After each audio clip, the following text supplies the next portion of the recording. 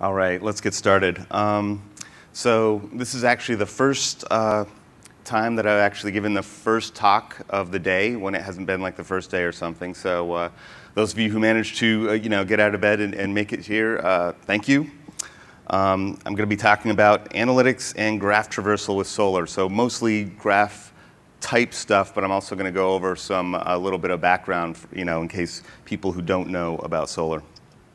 Um, so first of all, those who don't know me, um, I'm Yonik Seeley. Um, I originally created Solr uh, way back when I was working at CNET in uh, 2004 about, and uh, it was later contributed to the Apache Software Foundation. I'm also the co-founder of LucidWorks, and I currently work at Cloudera, integrating Solr into their big data stack. So just in case anyone doesn't know what Solr is, I sort of describe it as, to people who don't even know what it is at all, is it, it fits in the same part of your infrastructure as a database would. Um, it's a search server. It is just based on different underlying indexing technologies based on Apache Lucene than uh, other types of databases are. And it's really optimized for interactive results. And so, you know, interactive, you know, web, web scale, people, you know, doing a search or clicking a button on a web page, and Solr needs to return those responses in, you know, less than a second ideally, right? Because you don't want to be sitting around waiting. So it has columns, uh, what we call doc values for fast scans, fast analytics. We have highlighting, spatial search, uh, faceting, which I'll go over a little bit, uh, streaming expressions, um, which really needs some explanation. I'll go over that, what that means as well. Um, we have some graph search and also uh, SQL, which is layered over the streaming expressions. So just a little refresher on uh, faceted search. Faceted search is really about uh, taking a set of documents that are a result of like a user query and breaking those up in, and categorizing them and then giving uh, feedback like counts based on those categorizations. So this is like one of the oldest um, screenshots that I, I, did, you know, uh, like the first tutorial I did on a faceted search. It's on digital cameras, which of course are dying these days because of uh, smartphones. But so here we have a manufacturer facet and a resolution facet, and you can see that they've been broken up, and this lets the user know that we have five uh, Canon digital cameras and two Sony digital cameras. And so that gives the information to the user up front. They know that if they refine their search results to Canon, they're going to end up with like five entries. And then below that, at the bottom of the screen, off the bottom of the screen, is like the list of top results, what you'd normally expect from you know ranked search engine. Um, and so this allows the user to you know click on one of these categories like manufacturer and resolution and you know, refine their search results, drill down into their search results to find what they're looking for. So we have different ways of calculating things um, in Solr that have been developed over time. So like the first is um, basically faceted search version one, and that uses flat query parameters. You say, you know, facet.field equals color, facet.limit equals five. And what that means is categorize you know, this set of results by color and give me the top five. So lately I've been working on uh, the JSON facet API, which I've sort of referred to as the you know, version two. And uh, that expresses things in JSON. Uh, one reason is that it allows um, much more nesting, facets under facets. And so it made sense to use something like JSON, which is naturally nested. And so this just does the same thing. It's a type terms on the color field, give me the top five, just a different syntax. Streaming expressions um, is a whole nother ball of wax. Uh, I'm going to get into that in another slide, but this just gives a little sample of doing the same thing. It's not a, a quite an apples to apples comparison because this also includes the search. Um, so we're doing a search and then we're doing a roll up over the color field and you know collecting the count. And then, of course, parallel SQL, which I'm not going to cover more today. Um, but that essentially translates into streaming expressions for execution. All right. So getting into a little bit about graph. So graph databases are all about uh, nodes and edges or relationships between the nodes. And so in this example, um, you know, I'm starting off with, you know, Anne is a node and Stanford is a node, and Anne attended Stanford, and attended is like an edge or a relationship. And Anne also attended RPI, she recommended Mike, she works at Cloudera, and she lives in New Jersey.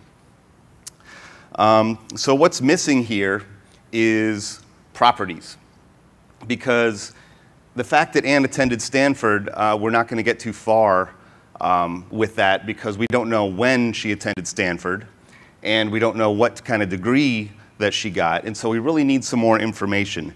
Um, and so we normally have in graph databases things called properties that we can add on both nodes and edges. Most of the graph databases that I know about, um, like Neo4j, allow properties to be on both nodes and edges. So here's just an example of the properties we added. Um, we zoomed in on the Stanford relationship and we said that Anne attended Stanford and the start and the end date, what degree she got, and what the subject was. And we also added some properties on uh, Anne and Stanford as well. But from, a, from a search perspective, though, these things, the nodes and the relationships, start looking just very similar to, they both start looking like documents to me because you can just put whatever properties you want on nodes or edges. And so that really kind of maps towards documents in the search world. Because documents, you can just have arbitrary properties.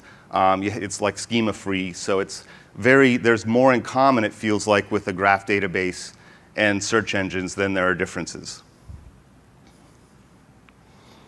So this is how we map from the graph world to um, document space or a search engine world if we have a relationship without any properties, then we can simply model that um, implicitly based on matches in field values.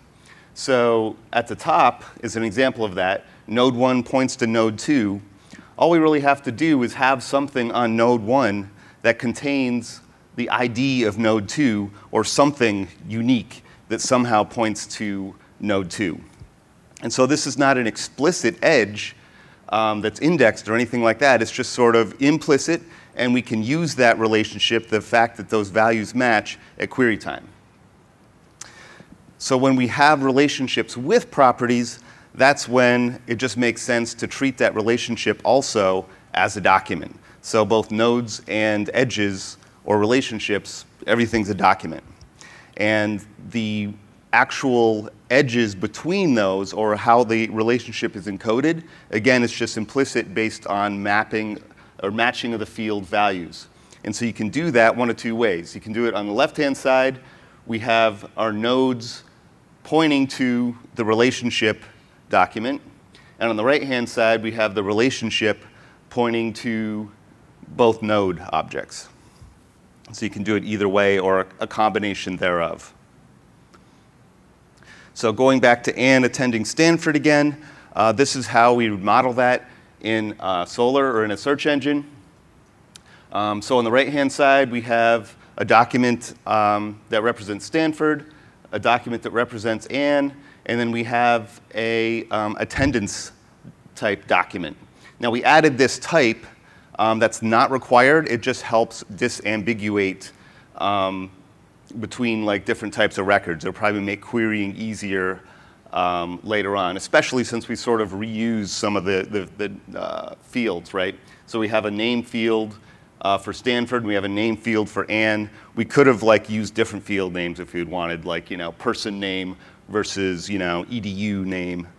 Um, it's really a matter of preference. And so you can see our attendance document. We have a who that points to Anne and a where that points to Stanford.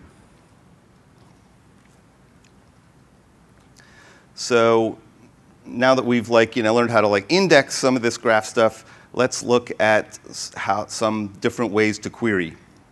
So first of all, I'm going to go over a graph filter, also called graph query. It's a breadth, it does a breadth first traversal, um, and it's modeled and implemented as a normal Lucene query.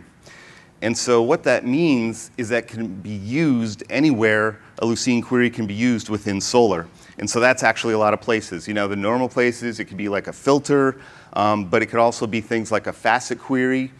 Uh, another nice property, if it's just a query, is that it is automatically cached in the filter cache. So you could use graph, say, for setting, setting up um, like a permissions hierarchy, like uh, groups within groups within groups. You could use a graph query to actually map from a user to the full set of documents that they're allowed to see. And because it's automatically cached in the filter cache, that graph traversal will only be done every time the index changes, but then it'll be like the results of it will be automatically reused as long as the index doesn't change. Oh, and so the, the output, I called it a graph filter because the output is um, just a set of documents. There's no ranking or scoring between documents that says this document is better than this other document. All you really get is a set of documents out. And the, uh, how we follow the edges, the edges are defined by the from and the to field. Those are the only two required parameters. And so we look at the from field, see what values it has, and then match those up to the to field. And that sort of defines the edges Sort of like, so it's at query time on the fly. So we have a couple other um, optional arguments to the graph filter. Uh, one is max depth. By default, it just keeps going until the set doesn't change anymore. Uh, we have a traversal filter, though, which is really useful. And that says, as you're following these edges, um, for nodes to be included in the set, they must follow, um, I mean, they must uh, match this filter. And the filter is just expressed as another arbitrary query. It could be another graph query even. Um, and return root and leaf nodes only, those are just booleans that uh, tell what final set of documents, uh, you know, whether the root is included or not. So the big caveat, though, to this graph filter, graph query, is that it is not distributed. And what I mean by that is that edges are not followed across shards. If you've broken up your collection into multiple shards, um, the graph query will only follow edges in each individual shard. It won't follow edges that, that cross shards. Um, it is still compatible with distributed search in that as long as you can live with that, then everything, you know, however you're using the graph query as a filter, in faceting, whatever, uh, distributed search will still combine results and, and think everything else will still work. And so this is still a really useful query because sometimes you can partition your data such that the traversals you're doing don't have any cross-shard edges. Um, or if they do exist, you might just not care. It depends on the type of computations you're doing. So uh, here's a Futurama example uh, where we're trying to use a graph filter to find uh, the full set of Fry's ancestors. And so we've modeled people here um, we just have an ID field that's essentially their name. And then we have a parents field that just lists the, uh, the, uh, the names of their biological parents. And uh, so our graph filter, we are, how you read this, right? We're, we're, it's from parents to ID, starting with Philip J. Fry. And so we start with Philip J. Fry. We look at the from field. The parents' values are Yancey, Fry Sr., and Mrs. Fry. And we match those values up with the ID fields of all documents, and that basically visits um, his parents. And it just continues from there until the set doesn't change anymore. Now, when we get to Fry's father, Yancey Fry Sr., we look at his parents' field, and we see um, something odd pretty quickly at uh, Philip J. Fry is his father. And so uh, if you're a Futurama fan, uh, you might rec- or you might remember that Fry is actually his own grandfather, just due to some time travel weirdness. Um, and so we hit a cycle, right? If we we're actually following this iter- iterative thing, we'd like get into a loop. Um, but that's okay because we have cycle detection, and so it actually does not, you know, get into an infinite loop or anything. It all just works. And so, you know, at the, at the, after this whole thing tr uh, keeps traversing, uh, the set doesn't change anymore, and we have the full set of Fry's ancestors. And then we can do use that with you know whatever we want. We can calculate like the average IQ, I guess, of, uh, of Fry's ancestors, which I'm not sure how high that would be, but okay. On to streaming expressions. So streaming expressions are relatively new to the Solr world. I think they started really coming on strong in, in Solr 6, uh, even though they were introduced a little bit before that. Um, and it's really a new way for Solr to compute things. It's a generic platform for distributed computation. Um, it does form the basis for our SQL support. We use like uh, Apache Calcite and translate things into streaming expressions to actually do the execution of the SQL. Um, so like the streaming expressions is really about relationships on streams. And it is really optimized and to work across entire sets of data. So this is a little bit different than how Solr's worked in the past, which is that's optimized for finding the top end of things. Streaming expressions normally look at all the data or all the data matching something. Um, so we have like a uh, MapReduce type shuffle and so if you remember some of the MapReduce word count type things, instead of querying a bunch of shards and having a single internal aggregator for increased parallelism, um, we can like do partitioning and have multiple internal aggregators doing whatever computations the streams are doing, and then have an additional level after that that does the final merge. Um, and this can also incorporate data from non-Solr systems, so it's a little bit less document oriented than a lot of the other previous um, work in Solr. Um, so you like have a JDBC stream that points to a different you know, external database, um, and then like basically do joins or whatever type of computation with uh, Solr results as well. So here's an example of a streaming expression. It's you know, one of the most basic fundamental streaming expressions in that it searches Solr. Um, and so it's like, you know, we call it a stream source. It's one way to like, you know, kick things off, you know, a source of data. And so instead of hitting the select or query URL, we hit the stream URL. So it's just the same exact URL. Um, it's just the, the end part is slash stream. And so we pass that expression equals, and then our search expression, it has sort of a functional notation. The first parameter is the collection name, and then we have our normal search parameters. If you're familiar with Solr, you know, the query, the field list that we want to return back, and how to sort it. And then we have our tuple list as a response, and the, you know, that looks very much like a normal um, Solr search request, even though it works very differently under the covers. So here's more like a, a logical diagram of like what the search expression is doing.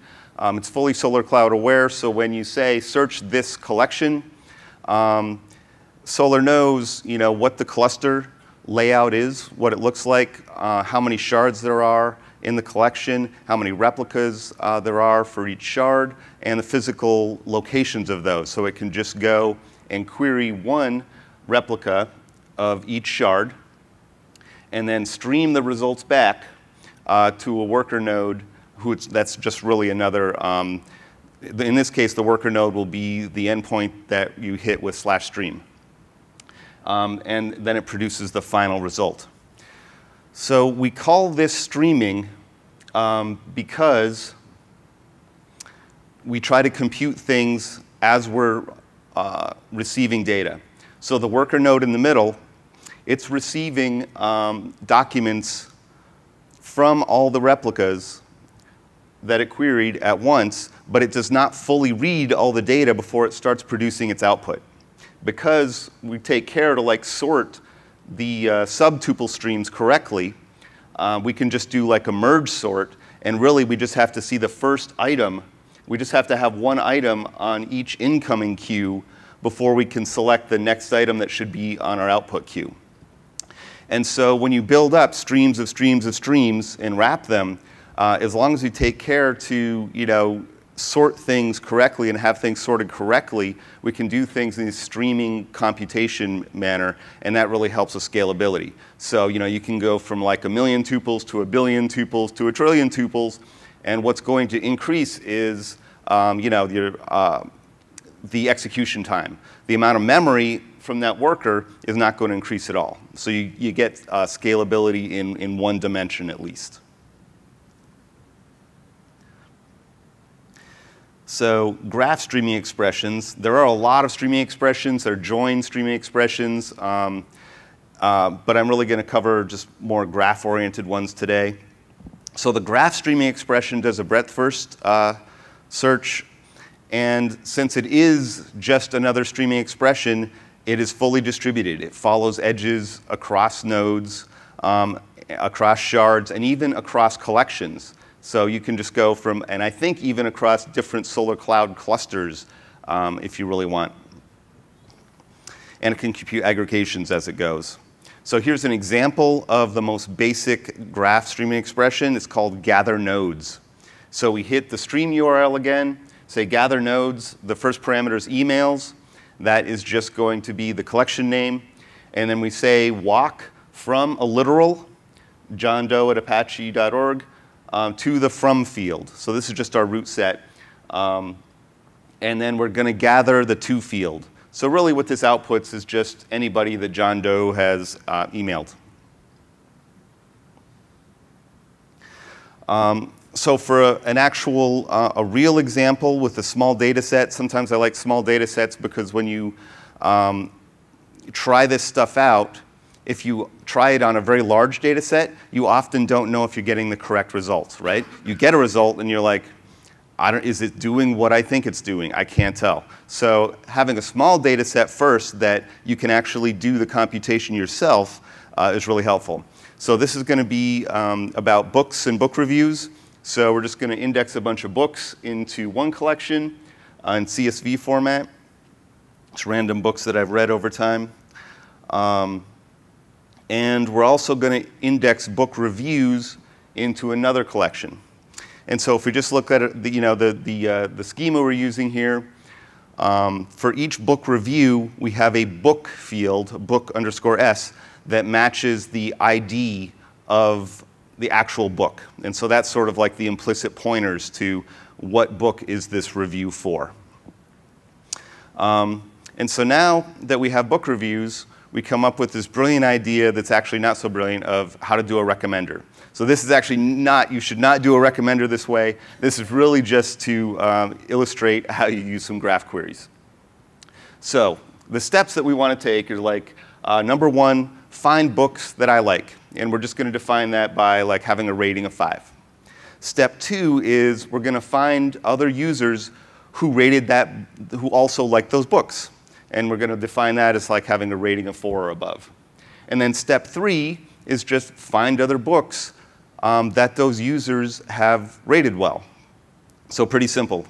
Um, so if you actually look at the data, um, Haruka and Maria actually rated um, same books that I liked, so they should be the output of step number two. And then for step number three, only Maria um, rated another book highly that I haven't read, and so that would be uh, book 10, grid linked. So that should be the output of, uh, of our algorithm.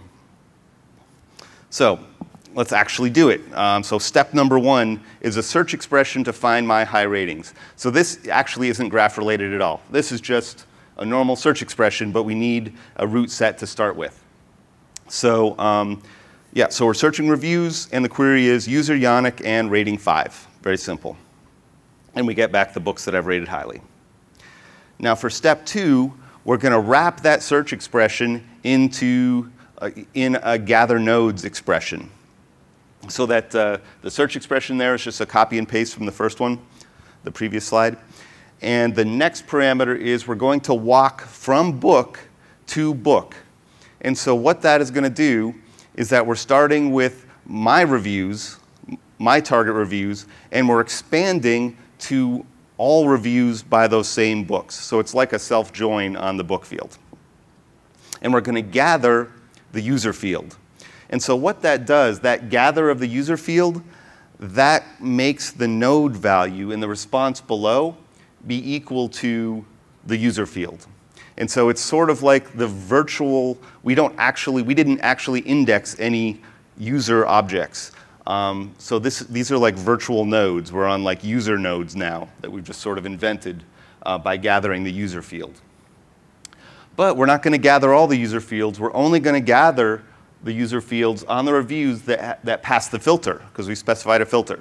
And that filter is, you know, well, it has to have a high enough rating, four to you know, four and above, and it has to not be by me. And we've also added an optional parameter, track traversal equals true, and that just adds in the response that ancestors field, the ancestors uh, that says where we came from to get to uh, our current tuple set.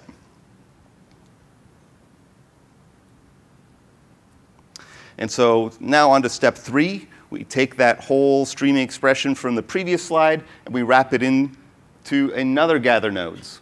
On reviews yet again. Um, and this time we walk from node to user. And so what this does, if you recall the, plast, uh, the, the past slide, um, the node field was usernames, our target usernames.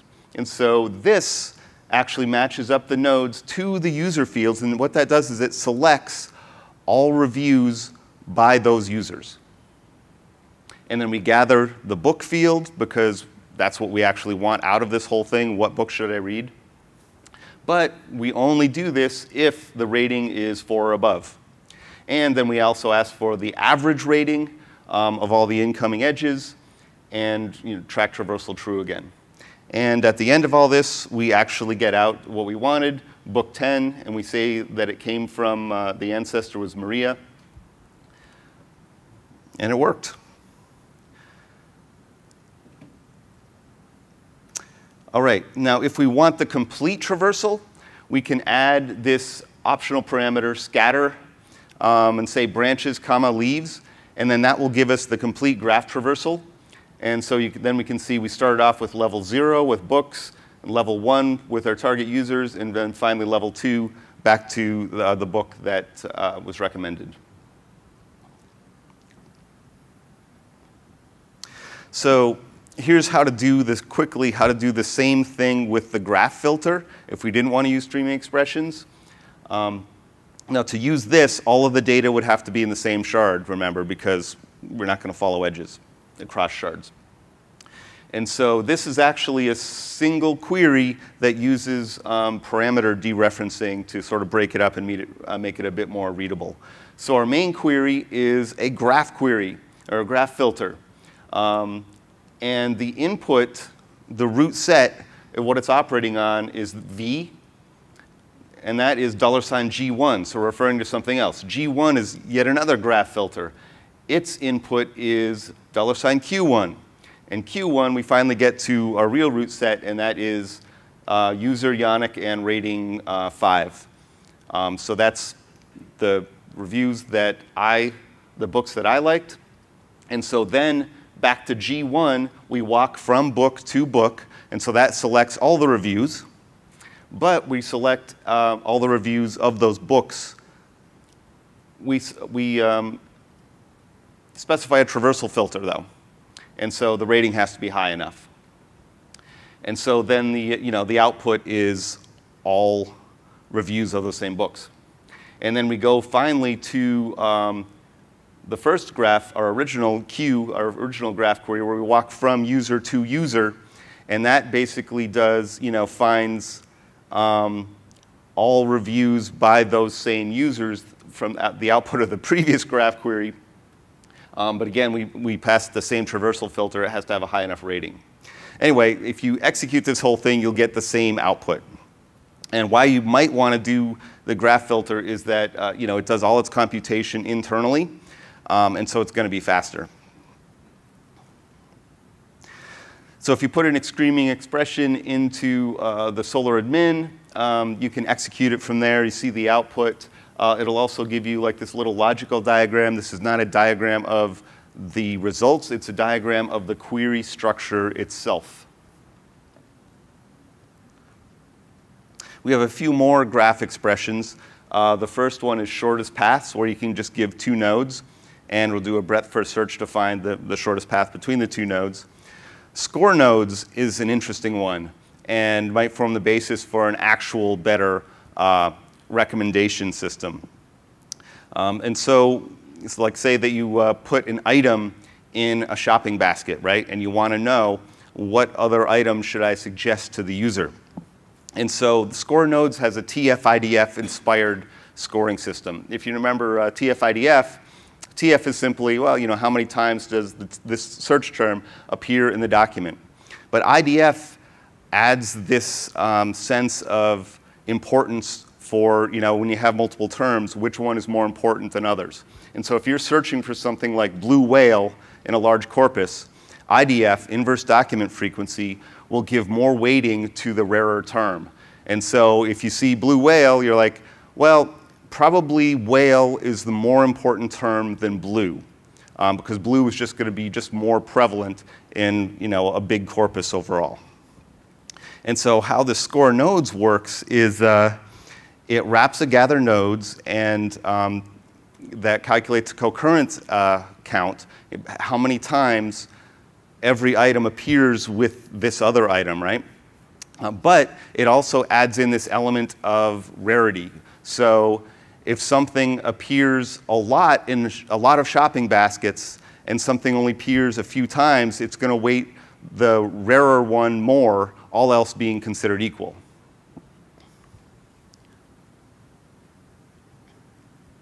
So another thing we can do is when we have our whole streaming expression that we built up, um, if instead of passing it to the stream for execution, if we pass it to graph, graph will do the whole execution, but instead of outputting the tuple list, it will output GraphML, and, uh, which is just like an XML standard for representing graphs.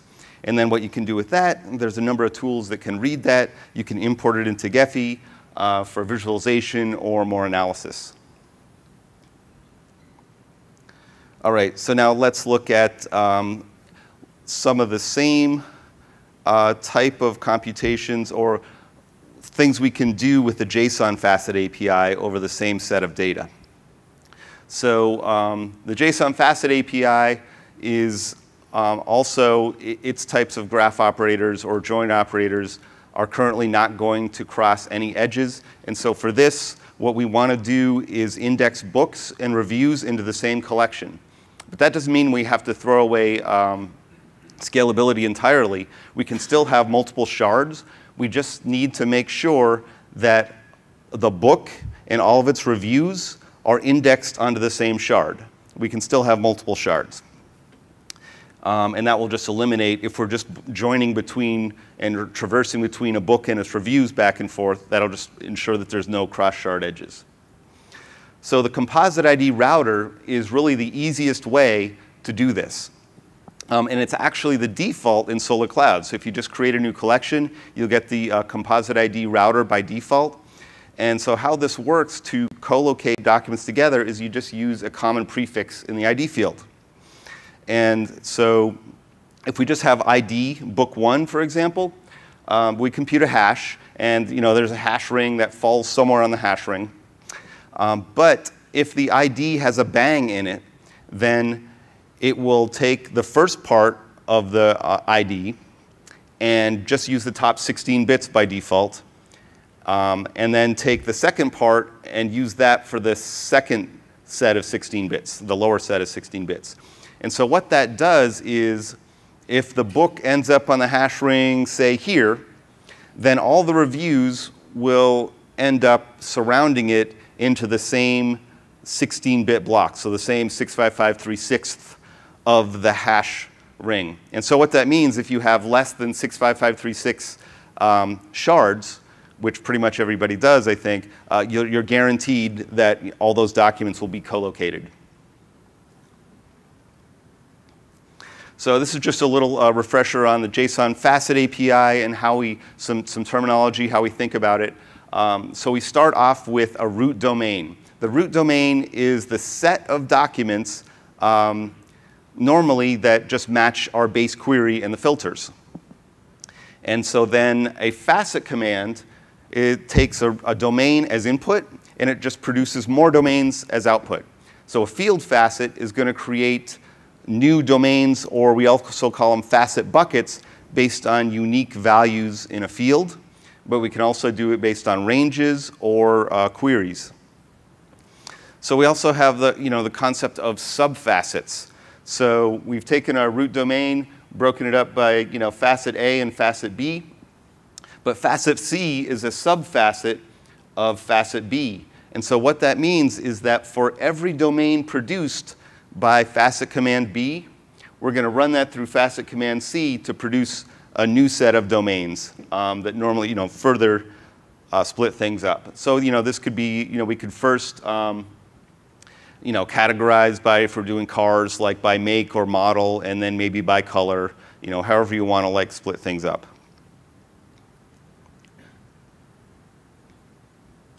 So here's an example of a JSON Facet API um, on our, our books data.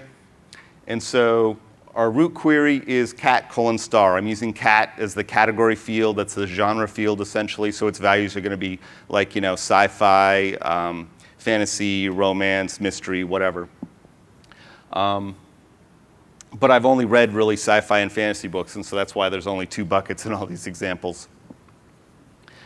Uh, so number one, we want to know the number of unique authors.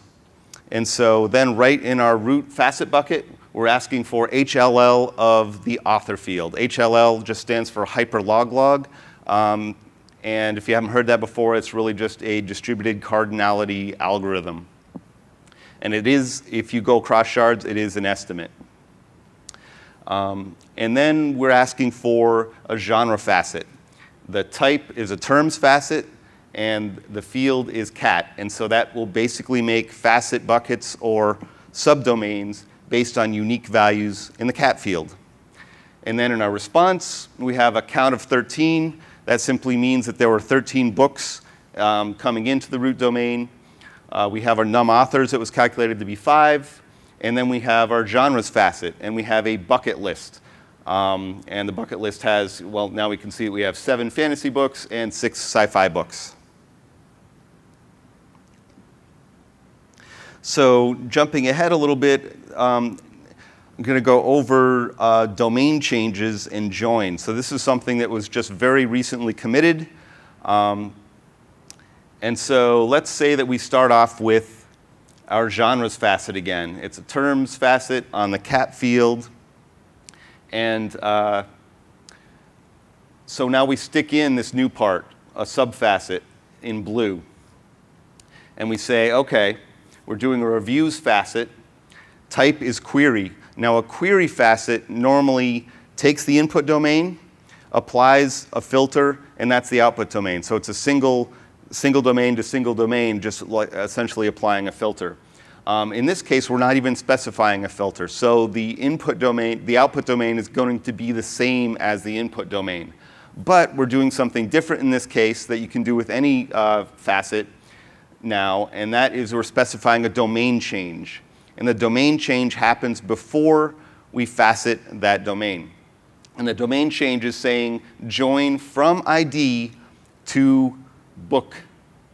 And so uh, really this is sort of more like, um, if you're familiar with it, uh, Solr's pseudo join or a single step graph uh, traversal.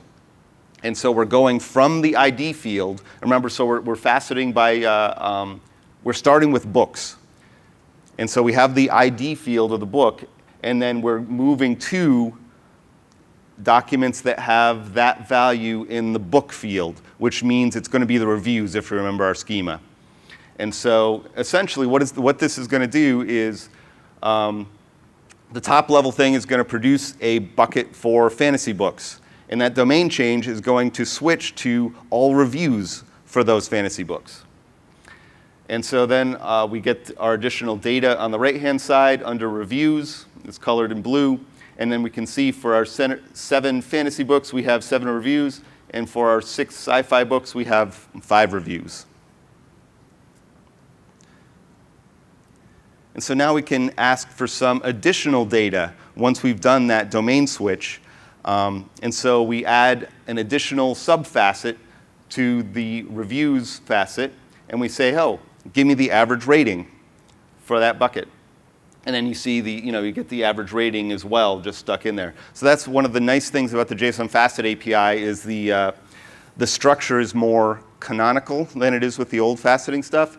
in that you know if you ask for additional information, the basic structure of the response does not change. It just adds some additional things. So say that we wanted to find who gives the highest rating per genre. So to answer that, what we'd change, we'd change the reviews facet from a query facet to a terms facet on the user field. And um, we're specifying that we want to sort by the ratings descending and get the top three. But we still have our domain change in there. So that happens first. So for all of our fantasy, you know, our fantasy buckets say, uh, we, we switch to the set of fantasy reviews, we, and then we break those up by user. And so then on, on the uh, right-hand side, you can see that our reviews facet now has a bucket list. And the bucket list is you know, the, um, the ratings, the average ratings that we asked for, and the buckets are sorted by that. We've taken the top three. And just another like random thing that you, you know that I thought of that you might want to do if you wanted average um, rating trends over time. Well, then instead of doing um, breaking it down by user, you could change the type of facet of a reviews facet to a range facet. On a review date field and you know you could give the start and the end and the gap, and that's just going to create buckets based on time range and give the average rating for uh, each bucket, so you can sort of see whether you know fantasy or sci-fi or whatever genre is trending over time. Um, so this data is actually the first one that I made up uh, because I, I didn't originally stick in any review date, and so uh, so for the response. That's a real response, but they were all zeros, and so I just like typed in some random answers. Um, maybe for some future version of the talk, I'll go back and fill in real review dates. yeah, so, um, and then one final slide wrapping it up on streaming expressions versus JSON facets, since these are like two different ways that you can calculate things. So uh, on the JSON facet API, it's, it's more focused on web scale interactive responses. So remember, it covered streaming expressions, how you can automatically parallelize things to really use um, the whole cluster resources to compute your answer faster. But if you have thousands of users at once hitting your cluster, that's going to be a very expensive um, solution right? You really want uh, to use also, if, there's, if it's not just a couple analysts like banging away at a keyboard, you really want to use your resources efficiently as well. Um, it does have, the JSON Facet API has like tighter integration with um, search components in Solr, It's just another search component. So for example, if you also want highlighting back at the same time or anything like that right now, it's, it's a better solution. Um, and it, like I said, it is more oriented towards very quickly finding top ends of things. Top end, you know, facet buckets, top end documents. Um, and it has, uh, currently has a couple capabilities that the streaming expressions don't have yet, like the ability to do block join um, and nested document support. So streaming expressions, though, uh, I think hold a lot of promise. Um, they're more general purpose, more larger in scope, because um, you can wrap streams within streams to do pretty much anything. That really doesn't say, you know, how long it's going to take, but um, but it is very powerful. In the past, we've like you know, really only focused on things we could do very quickly, and streaming expressions is much more uh, general than that. And so you start, one, I guess one way to think about it is like, you know, OLAP versus OLTP. They obviously you know, uh, overlap a lot, but it's, in general, that's sort of how they differ. Um, so it's also, I think I mentioned before, it's not, uh, streaming expressions are not really tied to documents. Um, so you can uh, get data from an external data source and treat it like just any other stream, do computations, joins on it. Um, we also have things like update streams where you can stream, get, get your results and stream them into an index into another Solr collection um, and use that as a data source in the future. Uh, machine learning streams, um, like, uh, just, we just started adding a whole bunch, bunch of uh, math operations. So you can do things like convolution and cross correlation. Um, and you can do some things like exact, uh, calculate exact cardinality. Like the HLL is um, an estimate once you start crossing shards. But if you're streaming all of the data past a single node, uh, you can actually do exact cardinality counts, if you care. Uh, we have distributed joins, distributed graph, and increasingly, too, it's working with the JSON facet API. And so, you know, one reason why you'd want to use, say, streaming expressions over like some Spark stuff in general is that we can push down more computation into the nodes and really use the power of the Lucene indexes that we have. You know, just like essentially smarter endpoints, do more calculations um, first, all in memory, with the fast indexes, and then it's, you know, delay as much as possible shipping out like the results um, to do more generic computations in uh, streaming expressions. Yeah. All right, so uh, that's the end of my presentation. Um, I think we have some time for, yeah, we have a couple minutes for questions.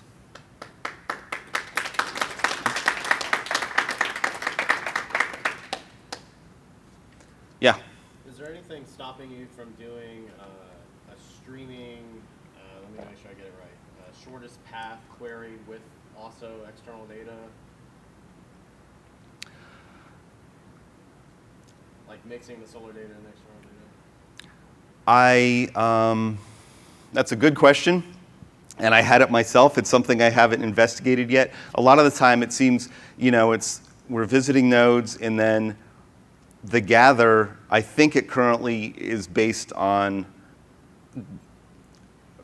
picking out, I think it's currently based on search within Solr itself.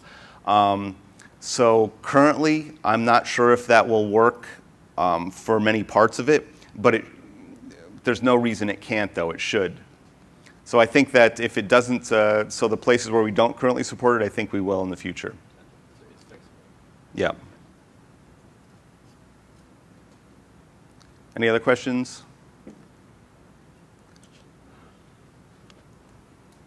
Yes. Uh, is there a chance that uh, can you re return the last slide, the previous one? You said uh, that UE basically works with the JSON facet API, so the string expressions can be accessible from there. Yep. Uh, does this mean that in future releases uh, the streaming expressions will be accessible the JSON API? So yeah, so the question was, um, you know, streaming can access uh, faceting. In the future, will faceting access um, streaming? Um, maybe. To interact with the streaming expressions via the JSON API. Yeah, maybe. Um, I think I think to not it, it's it's uh, we can't do it currently. Um, the JSON facet API can't like at some level all of a sudden kick off a streaming expression. Um, it's the JSON API is really like I said it's oriented towards like being really fast um, and it's like currently like two phase. So like you know phase number one is gather the top buckets. Phase number two is do refinements so you get actually accurate counts. Um, and that second phase is even uh, that second phase is optional. But it's so going in, in any of those places, going out and kicking off a full streaming expression seems really heavyweight. But um, just from just from, I would say yes. In the future, I don't see any reason why we won't be able to. It just hasn't been done yet.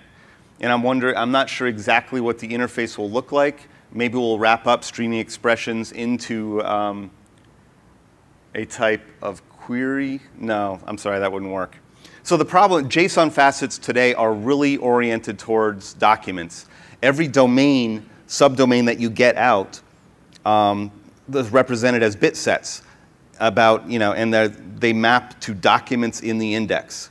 And so we'd to, to actually really utilize streaming within that, we'd have to like expand the internals of JSON faceting to work on values. Because at some point, you, do, you go to a streaming expression, it's pulling in external data, you're just getting tuples now. these don't have any correlation to what's in the index anymore. And so that's more like generic um, faceting. Um, and so while, yeah, so maybe it doesn't make so much sense. Uh, JSON faceting would have to expand a lot to actually make that work. All right, any other questions? Thanks, John. All right, cool. Thanks.